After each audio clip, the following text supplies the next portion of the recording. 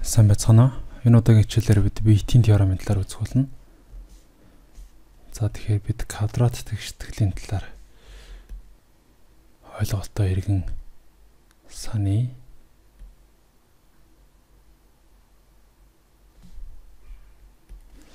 За квадрат тэгштгэл гэдэг нь за x квадрат дээр нэмэх нь bx нэмэх нь c гэсэн хэлбэртэй.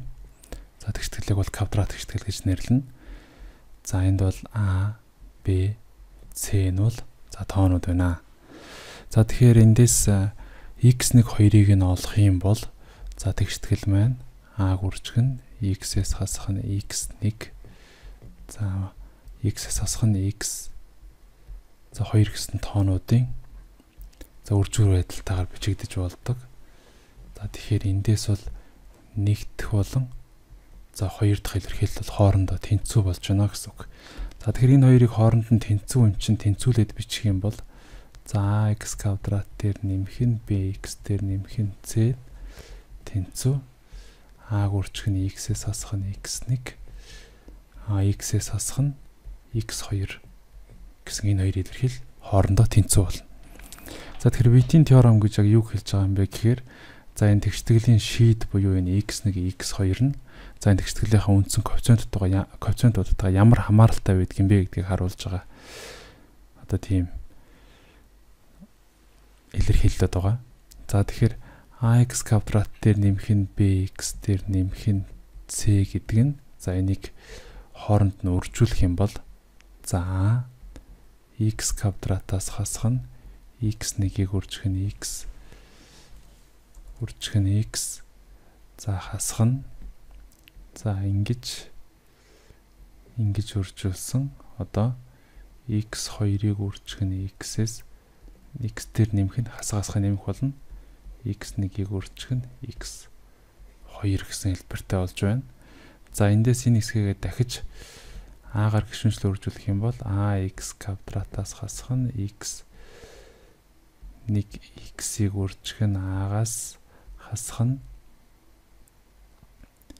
За хасах нь x2 x-ийг үржих нь a нэмэх нь a-г үржих нь x1 x2 гэсэн хэлбэртэй болж байна. За тэгэхээр энэ л мөн өмнөхийн адил ax квадрат дээр нэмэх нь bx дээр нэмэх нь c-тэйгээ тэнцүү байна. За тэгэхээр одоо энэ бол ер нь баруун талд байгаа энэ За энэ хэлбэр маань бол За ерөнхийдөө квадрат тэгштгэлийн энэ ерөнхий хэлбэртэй адилхан болсон байгаа нэр нь ажиглагдаж байна. За тэгэхээр энэ хэсгээс нь x-ийг хаалтны өмнө гаргаад за ерөнхийдөө x-ийн өмнөх коэффициент за x квадратын өмнөх коэффициент сул гишүүн гэсэн байдлаар за ялгаж бичье. За үүнийг за ногооноор бичих юм бол за ax квадрат за x квадрат одоо ганцхан энэ хിവэрэ за эндээс x-тэй тоо энд байна энд байна За мөн энэ хоёул А-таагаа болохоор А X-ийг хаалтны өмнө гаргах юм бол за урдаа хасах тэмдэгтэй болохоор X1 дээр нэмэх нь X2 гэж ерөнхий хаалтны гишүүн хаалтны өмнө гарна. За үүн дээр нэмэх нь A X1 X2. За энэ нь болохоор за AX квадрат дээр нэмэх нь BX дээр нэмэх нь C тэгээд тэнцүү. За энэ бол одоо тэнцүү хിവэрэл явсаар байгаа анхны тэнцүү гэж үзсэн тэрнээс хойш бол одоо зөвхөн хаалт нээх болон буцаж одоо ерөнхий гишүүн хаалтны өмнө гарах үйлдэл хийсэн болохоор энэ тэнцүү хിവэрэ байна. За тэгэхээр эндээс бол за улаан өнгө авъя. За энд x квадрат байна. За энд x квадрат байна. За x квадратын өмнөх коэффициент бол хоорондоо адилхан байна. За энд x байна. Энд x байна. За тэгэхээр энд байгаа x-ийг ажиглах юм бол за x-ийн урд байгаа энд b гэдэг тоон энд байгаа а болон энэ хоёрт тэнцүү байна. Өөрөөр хэлэх юм бол b тэнцүү а-г үржих нь а энд хасах тэмдэг байгаа. За тэгэхээр за энийг арилгая. Тэгэхээр тэнцүү хасах тэмдэгтэй а-г үржих нь x1 дээр нэмэх нь x2-той За тэнцүү байх нэ. За эндээс харин за C энд байна. C буюу X гүү тоон. А энд бас мөн C-ний X гүү тоо байна. Тэгэхээр C тэнцүү А-г өрчих нь X1-ийг өрчих нь X2-тай тэнцүү байна. За эндээс одоо за шийдүүдийн гişүүд квадрат гişтгэлийн шийдүүдийн нийлбэр нь одоо хэдтэй тэнцүү гэдэг бол одоо энэ дээр байгаа шарт гişтгэлээс олж болохоор байна. За эндээс бол үржүүрний хэдтэй тэнцүү байх вэ гэдгийг олж болно. За эндээс олъё. За шараасаа олох юм бол эндээс за x1 дээр нэмэх нь x2 нь болохоор за хасах тэмдэгтэй b-г хуваах нь a-тай тэнцүү байна.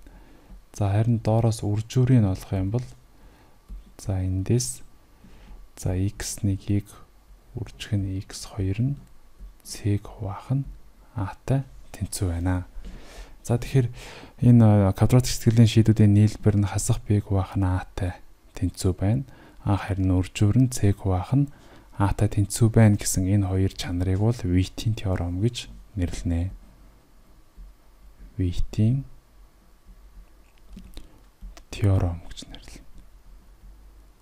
За ингээд үүнийг бол үсгэн үсгийн хэлбэрээр бол энэ дэр ингээд бод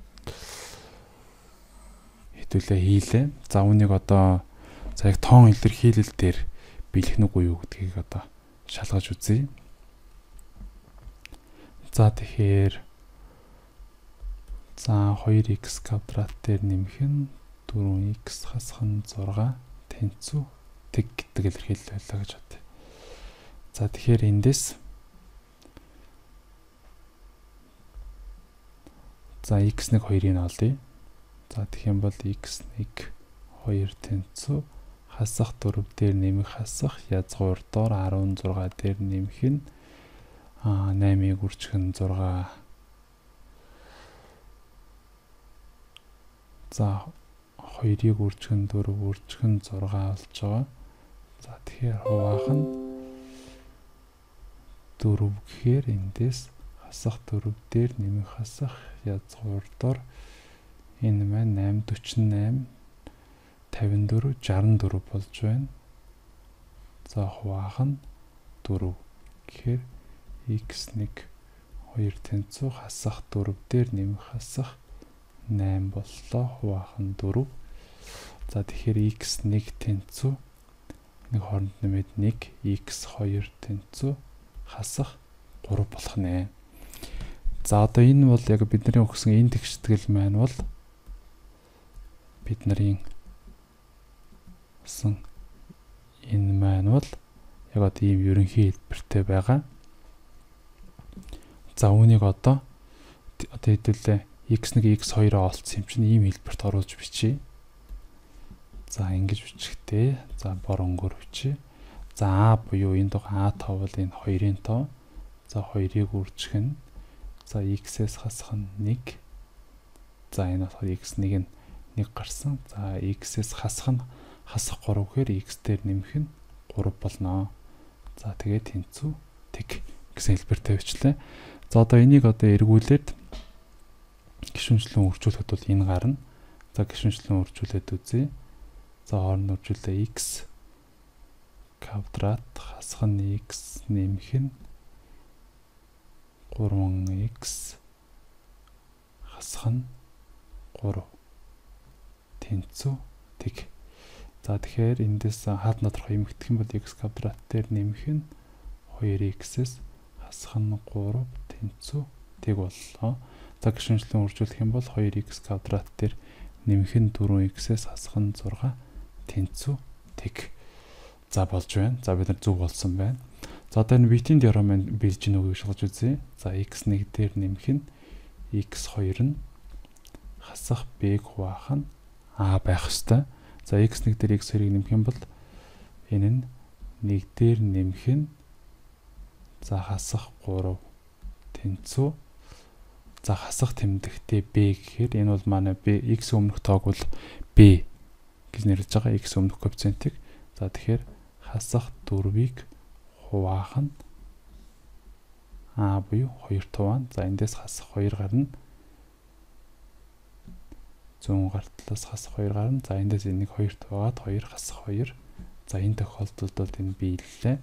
За одоо үржүүрийг бол одоо биелж гэнэ үгүй юу гэдгийг шалгаж үзье.